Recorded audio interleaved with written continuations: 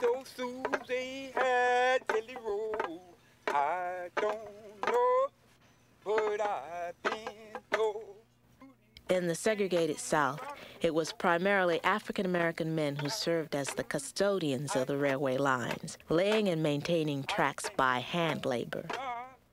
These section crews were known as Gandy dancers. Whoa, Susie, Susie, don't you know I can make your belly grow, Susie, Susie. All right. Don't you know I can make your belly grow? Gandy dancers were expected to lay new rail, replace rotten cross ties, repair tracks damaged by floods, and tightly pack or tamp the gravel bed on which the rails lay. But most of their time was spent straightening sections of track that had been pounded out of alignment by the tremendous and frequent weight of passing trains.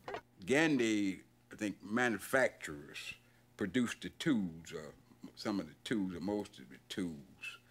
From the the dancing part came like Dad was saying. See, it was from the rhythm of the men.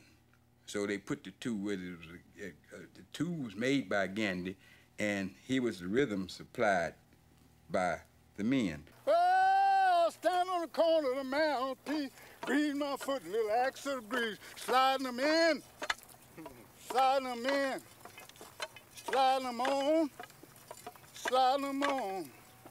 Ah, oh, 10,000 biscuit in my hand, stop my way to the promised land. Boy, I'm eating.